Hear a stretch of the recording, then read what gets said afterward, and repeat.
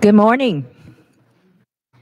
Sorry for the, being a couple of minutes late. I know several of us are in and out of other committees presenting bills, and uh, so thank you for indulging us these three minutes that we're starting late. Uh, It's good to see everyone today, and um, I would like to ask our clerk, will you please call the roll? Yes, ma'am. Representative Cepicky, Dixie, Griffey, Harris, Haston, Hicks, Mannis, McKenzie, Parkinson, Ragan, Rudder, Sparks, Warner, White, Vice Chair Lady Weaver, Chair Lady Moody, Madam Chair Lady, you have a quorum. Thank you so much for that. And uh, members, you know, last year, excuse me, last year, I uh, I I asked if you would indulge, indulge us again. Uh, I would like to ask anyone that would like to join us in saying the Pledge of Allegiance. I would appreciate it if you'll join me. Thank you. I pledge allegiance to the flag of the United States of America and to the republic for which it stands, one nation under God, indivisible, with liberty and justice for all. Thank you. Mem- Members, uh, does anyone have any, uh, am I losing control already? I do. Members, uh, do you have uh, any uh, welcoming remarks or anything before we get started? All right, seeing none, we'll get started. Um, on our calendar, the very first bill is mine, and uh, I I see other members with bills, so I'm going to roll mine to the heel of this calendar today, and we'll take up the other members. So that will move us to number two, uh, Representative Lamar, House Bill 0117. You have a motion and a second. Awesome. Thank you so much, Chair Lady. And that was so kind of you to let everyone go first. That was really sweet. Well, thank you for saying that. And let me and thank you. And let me add to the compliment. Um, Chair Lady Moody has been leading a charge on human trafficking prior to me even in, in entering the legislature, and I value her leadership and want to continue to follow in her footsteps. Um, and so, what my bill HB 117 does, it takes her original bill for one-time human trafficking um, training to once every three years, and it's a 20-minute video that's developed by Restore Corps, End Slavery, and Grow Free, which are three key human trafficking organizations. About a 20-minute video, but we all know the the human trafficking tends to um, uh, change as technology evolves, as the game evolves, as the strategies evolve, in order to ensure they can do this without getting caught. But we want to make sure our teachers are aware of what are the signs because many of these traffickers, it's not glamorous like we see on the movies where, you know, they getting kidnapped in these countries or it's a bunch of immigrants. These are our average everyday girls, is our neighborhoods who are leaving school, hanging out the corner store. They may be impoverished, and these pimps come and and and and and, and uh, look for them and, and attach themselves to them. And they may go to school every day, but when they leave home, they are oftentimes involved in the trafficking um, ring. So we want to make sure our teachers are aware of the signs and being able to see this 20 minute video once every three years that they keep updated will be very valuable. Having more eyes on protecting our youth who are susceptible to the human trafficking um, initiatives that are going on. Excuse me. Thank you for that explanation. And I do, just for the record, there are no amendments traveling with this bill. No, ma'am. Thank you. Members, uh, does anyone have any questions for the sponsor? I see Chairman White. Thank you, Chairman Moody. Representative uh, Lamar, are you familiar with um, Saving Lost Kids in Memphis, the Brian Callie's Foundation? Sadie's Law. Brian Callie's Foundation, Saving Lost Kids? I have not. I need, remind me, I need to introduce you to them. That they work on this that back Okay. home. I would love that. Thank you so much. Thank you. Chairman, count me in on that too. I'd be interested. I didn't know there was I know every StoreCorps in Memphis, but the more the merrier, right? Right. All right, thank you. Uh, who do we have next? Spark, Representative Sparks. Thank you, Representative Barr. Thank you for carrying this piece of legislation. I was going to share, uh, when I first got elected, I had a, a detective from Detroit, African-American lady, uh, Kathy Hines was her name, and she brought this issue up to me and, and she was talking about human trafficking. And I just, I just didn't believe that kind of stuff existed in our culture. You know, remember this is 11 years ago when I first elected. Uh, let me ask you this, you're, you're a little younger than most of us up here. As I'm, I'm a little older, so I've seen society kind of, uh, digress or, you know, lack of a better term, why do you think these things are happening in our culture? Because I'd have never thought this stuff happened 20 years ago. If it did, it was just so isolated. Why, why has this gotten worse, it seems like? What, what's your thoughts on that? Representative Lamar. Absolutely. In my personal opinion, as London, Yes, ma'am. Um, I think this is happening because again, the reason why I'm bringing this bill, it tends to evolve. It's also one of those crimes that have been talked about behind closed doors. Um, it's been very taboo. Um, there wasn't a lot of education about what's going on, but with the increase of technology, us being able to bring these issues to the forefront much much quicker, and then be able to engage the community in an advocacy way to help reduce these crimes. I think that's why you now all of a sudden see so much human trafficking uh, advocacy on the forefront because we do have more access to, to technology. Law enforcement do have access to more technology to help protect victims. And so the more ad- technologically advanced we become, the more craftier and savvier we can get at reducing some of these crimes. But, you know, a lot of sex crime has historically, we don't want to talk about them. We don't want to talk about them, but we have to talk about it because it's real and it's happening in our community. And, you know, just as soon as 2018, it was like the second highest rise in crime in Tennessee. And so we are really um, serious about protecting victims. This is one of the ways of doing it by supporting this bill so that our teachers can join into that fight and join into the advocacy and protecting our youth. Thank you, ma'am. All right. Anybody else want to have a comment or question? Yes, sir.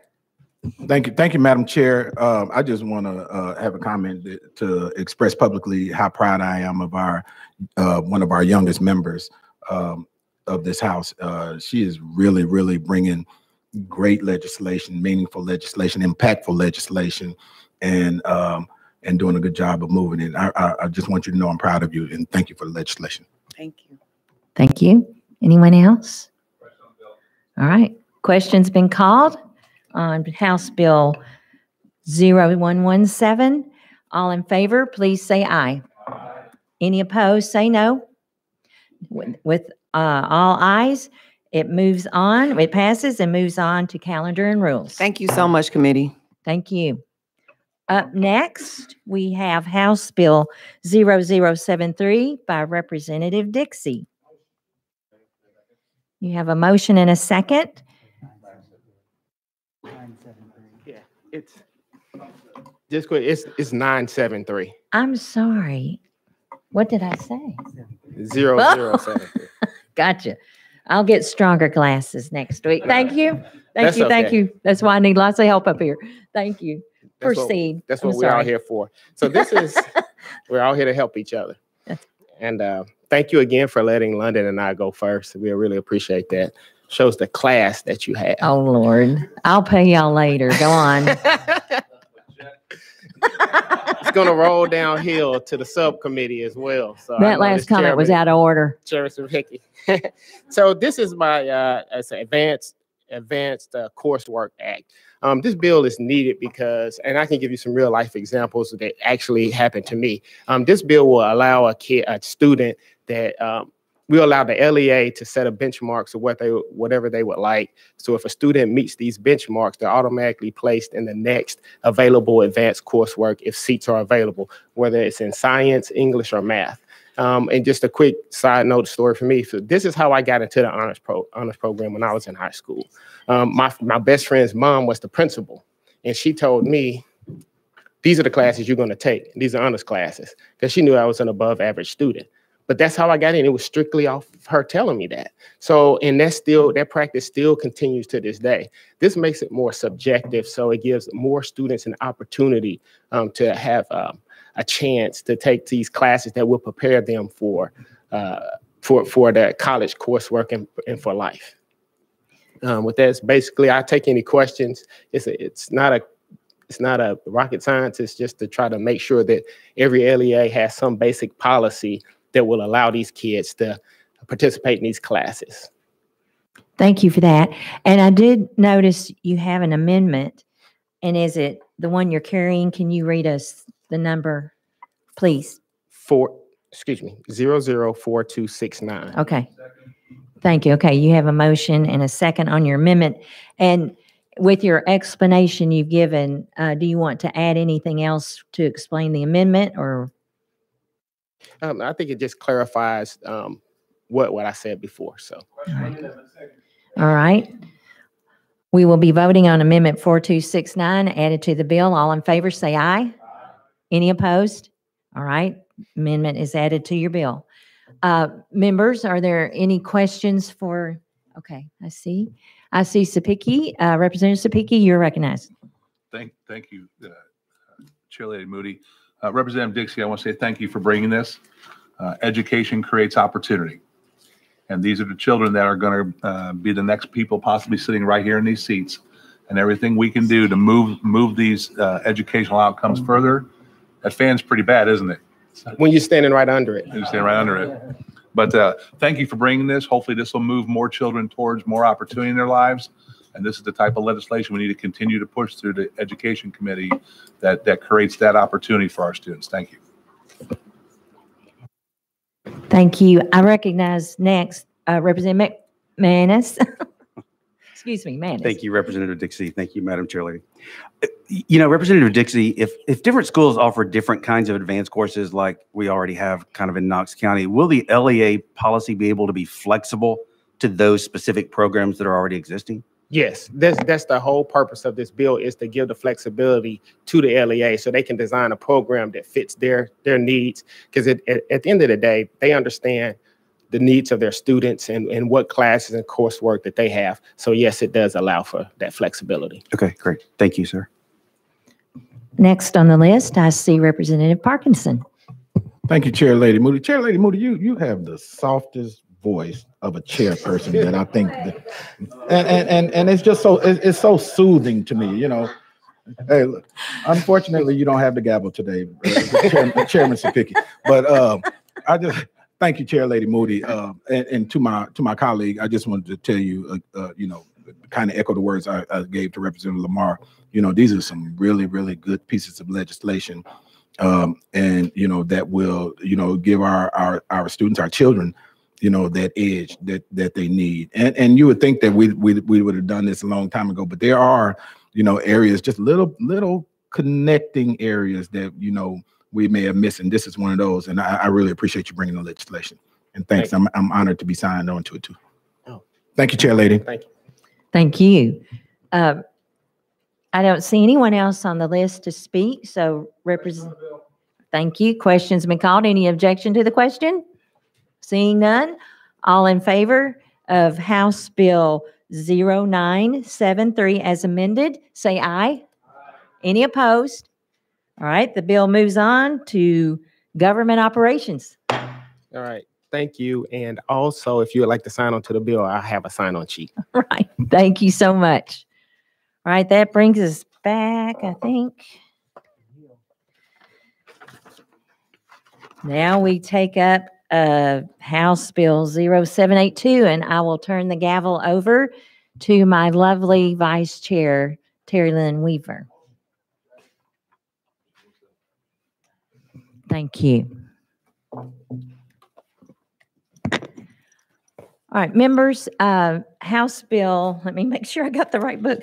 House Bill 782. Uh, This bill will clean up language that's in statute to clarify that textbook and instructional materials. I just ran into it, didn't I? That's okay. Go for it. You're the chairman. No. I turned it over to Okay, we're gonna, we're gonna take up House Bill seven eighty-two and Chair Lady Moody, you are most recognized. Uh, yeah, okay, so we do have an amendment, so I need a mo- motion and a second on the amendment. We got that, okay? Uh, you are recognized on the amendment. All right. Thank you very much. Uh, And that code on the amendment is uh, 004479.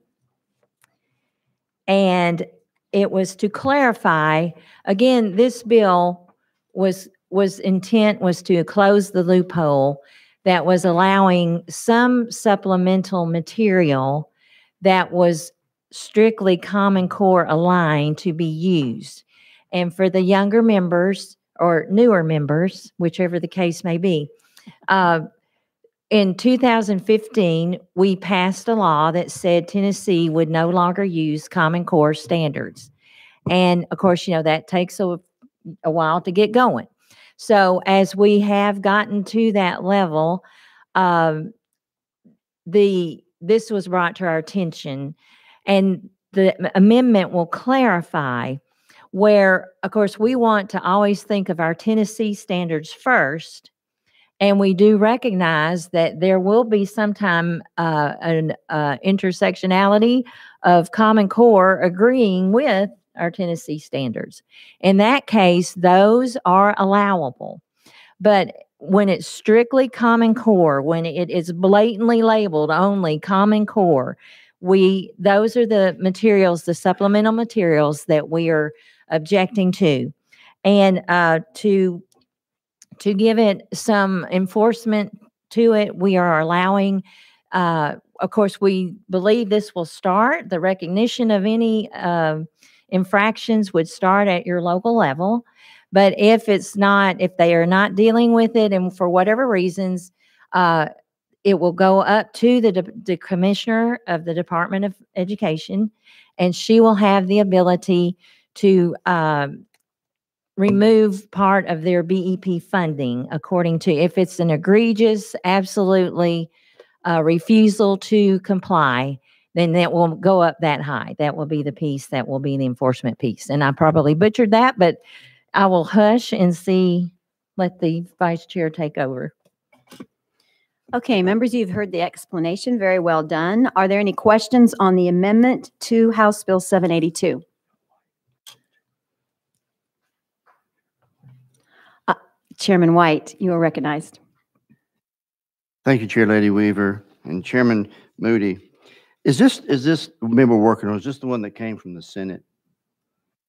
Or do we know? Or, um, and I may be confusing this with another bill that's out there, but I know there's, I'm getting a head shake, no. Chair Lady Moody, you're recognized. Matt, I don't want to, I'd kind of be guessing myself. Um, and I, Charlie Bufalino is in the audience and I know he's on the, he's, was approved to be, to answer questions if we needed him. May we go out of session and do that? Yes, we may. We'll go on out of session. And Mr. Bufalino, you are recognized.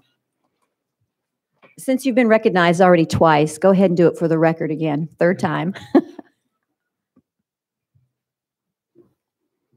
Uh, Thank you very much, Madam Chair. Charlie Bufalino, uh, Tennessee Department of Education.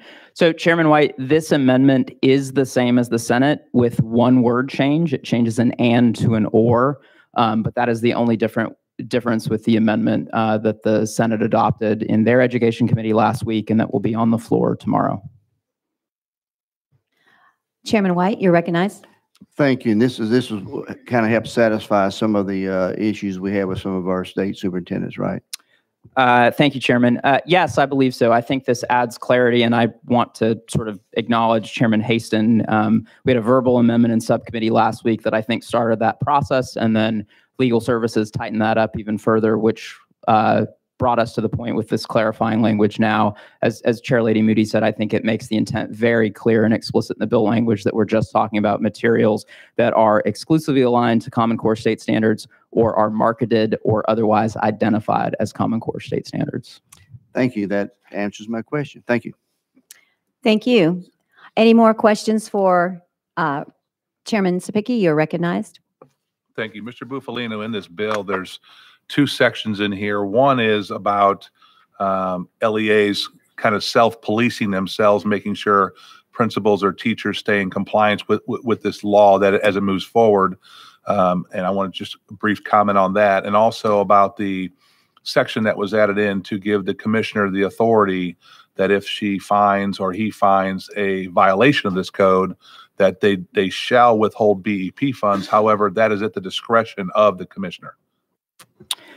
Thank you for the question, Chairman. Um, yes, I think that's that's that's a very worthwhile thing to note. I think first and foremost, um, we do anticipate as whenever there are changes to our law that our local districts are going to take care of those. Whenever we hear about a violation of state law or a perceived violation, you know, our first call is always to reach out to the director of schools, talk to them, give them an opportunity to look into it. And I, I fully am confident that that will be the case with this law if it if it is to become law as well. Um, but yes, there is explicit language in the bill that states that if there is an intentional and purposeful violation uh, of this code, that the commissioner shall withhold funds. Um, and so I think it it makes that that intent very clear in terms of that this is something that the General Assembly would take seriously. But even in those instances, we of course are going to talk to locals first and give them the chance to address it locally. You're recognized. And just to clarify, that, that authorization still does give the commissioner the flexibility to determine what amount would be based off of the act that, that's taken place. Yes, sir, that is correct. Okay, we have further questions. Uh, Representative Harris, you are recognized. Representative Cepicky already asked that question that I initially was going to ask, but um, years ago when this, I remember when core, um, when core, Common Core was actually in place, um, the changes were made to what we consider the SAT. Uh, and so those changes went into effect in 2015 to 2016 to include Common Core. Um, and so with them remo- with us removing it now, how are we going to make sure that those students still are able to get the information they need to be able to satisfy the SAT? Uh, that's a good question. Thank you, Representative. Um, I think there has been a process since 2015 for states that have moved away from Common Core, like Tennessee, and publishers to have to realign their standards in a way that align to state standards. That is something that every publisher that's in a state that is on the approved list or has a waiver has had to go through. Um, you know, it was repealed and replaced in 2015. Um, our new Tennessee state standards were online in 2017 and 18, and it certainly take took a process to make sure that we had the rigorous sort of state standards that we did. Um, folks like the SAT and the AACT have had to go through a similar process to make sure that there's sort of alignment there. Um, and obviously, those are important assessments in terms of assessing post secondary student readiness. So that's a process that certainly hasn't been unique to Tennessee or that specific provider, but that someone really, that across the country, folks have had to do over the course of the last five, six years. Thank you. Uh, Representative Ragan, you have a comment? Uh, Thank you, Madam Chair Lady. I just want, for the, for the sake of clarity, uh, this bill has authorized the commissioner to withhold funds. The commissioner does not have the power to hold, withhold funds unless specifically authorized. Is that correct? Uh, no, that that's not correct. The, the commissioner has broad discretionary authority for any violation of, of Title 49 law to withhold fundings. The, the difference here is that it actually mandates that withholding of funding in the legislation, but she has broad discretionary authority to withhold funding um, for, for any violation of Title 49. Thank you for the clarity. Any further questions for Mr. Bufalino? Seeing none, we'll go out of session and get back on the bill. Back into session. Thank you, Madam Chair. I need some brushing up. Remember, Okay, now we are back on the amendment. Uh, Are there any further questions for the sponsor on the questions on the amendment of 4479? There's been a question called. All right, we're ready to vote. So all those in favor of putting uh, the amendment 4479 onto House Bill 782 signify by saying aye. Any noes? Ayes have it. All right, we are back on the bill as amended, House Bill 782. We're ready to vote. So all those in favor of sending House Bill 782 to calendar and rules signify by saying aye. Any noes? No noes? All ayes? You're going to calendar and rules, Chair Lady.